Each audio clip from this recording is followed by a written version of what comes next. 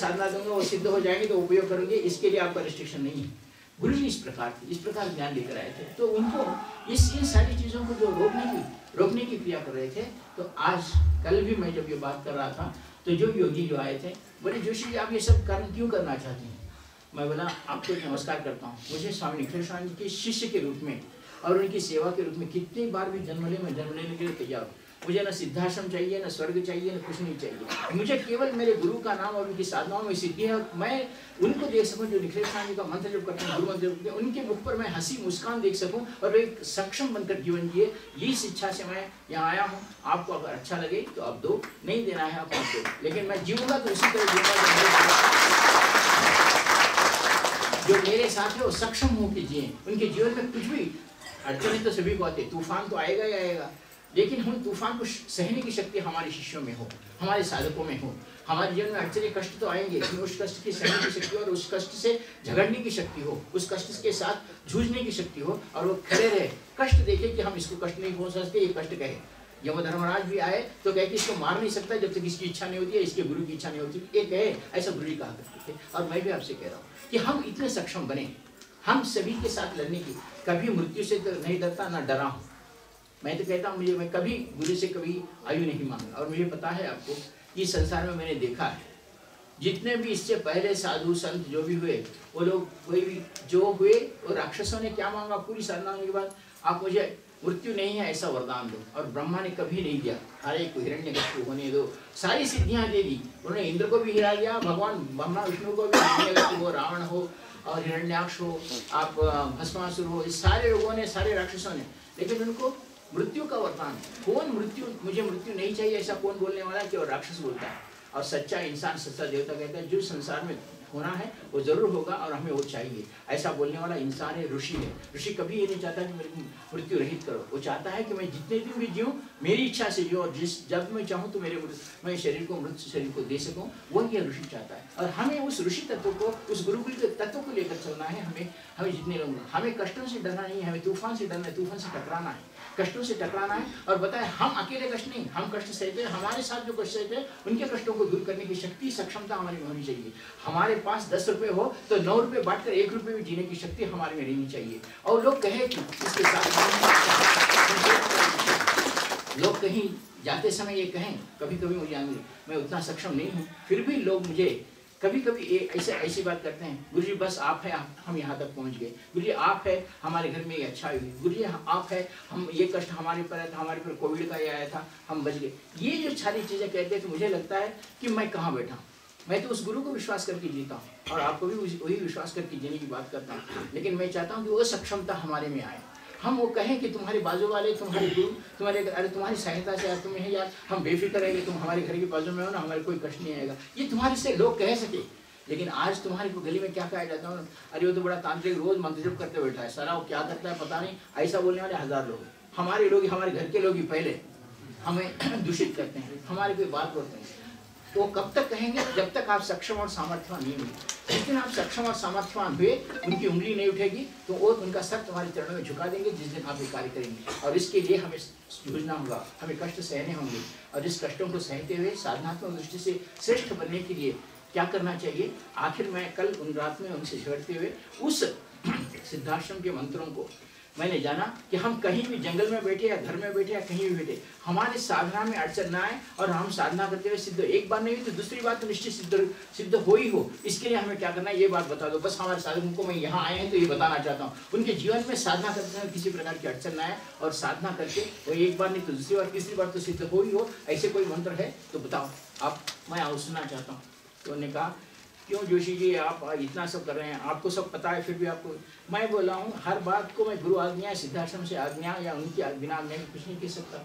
आप अगर आए हैं, मैं यहाँ आया हूँ तो इसके पीछे भी कोई ना कोई इच्छा होगी, गुरु की इच्छा होगी। आज यहाँ हम निखिलेश नारायण जी की जन्मदिवस मना रहे हैं तो इसके पीछे गुरु जी की इच्छा ही होनी चाहिए। अगर गुरु जी की इच्छा नहीं होती तो आप सब इतने लोग नहीं आए थे तो मैं यहाँ आता था। अगर मैं अगर कल के दिन कहूँ, इन पहाड़ियों में आपको लेकर एक लाख रुपए देता हूँ अब ऐसा करो पहाड़ी में जाकर जंगल में उस नदी के उसके वो झरने के नीचे बैठते जहाँ साधना को, क्या बात करें गुरु, हम अकेले कहीं मरने जाएँगे, आप शादी से आप आए हैं, इसलिए आए आपने तो यहाँ कहीं आते थे और एक लाख रुपए खर्च कर, एक लाख रुपए तो हम ओटी जाते थे गोवा चले जाते थे, यहाँ कहीं आते लेकिन ये समझ की बात, हम अपनी अपनी साधनाओं के बल पर, आप ट्रेन में पढ़ के आए, प्लेन में आए, कहीं आए, पहाड़ों में चलते आए, रात में आए, ठंडी है, ये सारी ये सारी चीज़ों को देख कर आए। तो इन सारी चीज़ों को सहन करने की शक्ति के इतनी सबके पीछे एक ही राज है कि हम साधना करते समय किस प्रकार की अड़चन आए और हमारे साधना में सिद्धि मिले, इसका विधान क्या है? तो कल उनको कहने के बाद उन्होंने जो साधना का विधान बताया, मैंने कहा कि मैं यहाँ हमारे साधकों को जो यहाँ आए हैं, उनको तीन साधनाएँ देना चाह रहा था। एक साधना वो थी जो कि हम यहाँ के जितने भी गुरुमंडल यहाँ है, जितने भी साधना करें और ऋषि हम जहाँ भी जाए, उस क्षेत्र में रहने वाले ऋषि वगैरह आकर हमारे से मिले और हमें उनका आशीर्वाद मिले, उनका श्राप नहीं मिले। अगर हम श्राप मिले तो हम ऐसे वैसे हो जाते हैं। उनका आशीर्वाद, एटलीस्ट वो हमारे को आशीर्वाद दें कि तुम यहाँ डॉक्टर नारायण श्रीमान जी हैं यहाँ आए, उस क्षेत्र में रहने वाली यक्षिणियाँ गंधर्व कन्नर अप्सरा ऋषि, मुनि, संत, महात्मा हमें आशीर्वाद प्रदान करें। जहाँ भी हम जिस क्षेत्र में भी, जहाँ भी जाए गुजरात जाए या आंध्रा जाए, उड़ीसा जाए या हिमालय जाए या नीचे श्रीलंका जाए, हमारे को हम जहाँ भी जाते हैं, वहाँ की जितने भी ऋषि, मुनि, देवी देवता हमें आशीर्वाद दें। इसके लिए हमें क्या करना है? ये पहली साधना थी, मैं वो साधना गुरु जी के कृपा प्राप्ति साधना थी। दूसरी साधना थी हम कहीं भी साधना में बैठे, हम बिंब रूप में हमें गुरु का दर्शन हो और गुरु जी हमें आशीर्वाद देते हुए तो साधना कर मैं तेरे पीछे खड़ा हूँ, ऐसी गुरु प्रत्यक्ष सिद्धि साधना नंबर दो, यहाँ साधना मांगा था। और तीसरी साधना मांगा था कि गुरु जी आप सिद्धाश्रम की योगियों के साथ हम जहाँ कहीं भी हो, हमें कभी भी कष्ट या अड़चन आए तो हम हमें प्रत्यक्ष रूप से आप दर्शन देने के लिए हमारे जीवन में एक बार आप आ जाओ, ऐसी साधना। इस तीन साधना लेकर मैं यहाँ आया था आपको देने के लिए। लेकिन तीन दिनों में भी आपकी व्यस्तता, मेरी व्यस्तता खाना पीना इसमें दिन चले दिन चले गए। वो तीन साधनाओं को नहीं दे सका। लेकिन अभी आज एक निर्णय लिया हूँ। अभी आते आते क्योंकि हम इतनी दूर आए हैं तो उन तीनों साधनाओं को आप अगर आने वाले गुरु पूर्णिमा तक संपूर्ण करते हैं तो तुम्हारे जीवन में मैं इतनी बात कहता हूँ कि सिद्धाश्रम की योगी और जैसा मैंने कहा है जिस क्षेत्र में भी जा, जाएँगे वहाँ उस क्षेत्र में जितने भी सिद्ध देवता हैं सिद्ध मुनि यक्ष गंधर्व किन्नर है वो देवताएँ आपको शाप न देते हुए प्रसन्नता के साथ आपको आशीर्वाद दे ऐसी साधना। और उस साधना के लिए क्या चाहिए वो? और दूसरी साधना हम गुरु को प्रत्यक्ष रूप से जब भी साधना में बैठे हम अगर आँखें मूंद दें तो गुरु जी का दर्शन हो और गुरु जी आशीर्वाद देंगे तो साधना कर, मैं तेरे पीछे खड़ा हूँ। ऐसा कहने वाले नंबर दो। और तीसरी साधना, हमारे जीवन में एक बार गुरु जी प्रत्यक्ष रूप में दर्शन देकर हमें आशीर्वाद, हमारे सर पर हाथ रखे, ऐसी साधना, ये तीन साधनाएँ मैंने यहाँ लेकर आपके पास आया था। लेकिन इन सभी से करने से पहले मुझे जो बात करनी है वो ये है कि हम तो मस्तिष्क से बिगड़े हुए लोग मस्तिष्क से बिगड़े हुए तन से भी बिगड़े हुए कब क्या खाते हैं, कहाँ बैठे हैं, ये पता नहीं हमारे को। और हम, हमारा मस्तिष्क कब कैसा चलता है, ये भी पता नहीं। पैसे कमाने के लिए हो, पैसे कमाने के लिए हो, हम क्या करेंगे हमारे कोई पता नहीं। कौन सा मार्ग अपनाएँगे, हमें पता नहीं। पैसे नहीं कमाए तो गुरु को दोष, पैसे कमाए तो भी गुरु को दोष है। क्योंकि पैसा कमाने के बाद गलत रास्ते पे जाते हैं तो क्या करते हैं, गुरु को ही दोष देंगे।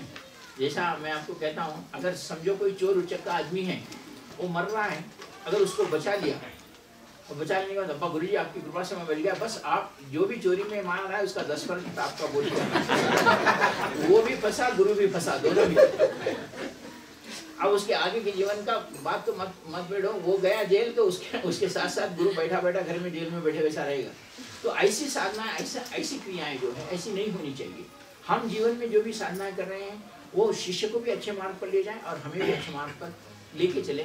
इस प्रकार मैं आप सभी को आशीर्वाद देता हुआ उसका विधान और उस तीन साधनाओं को मैं देता हूँ।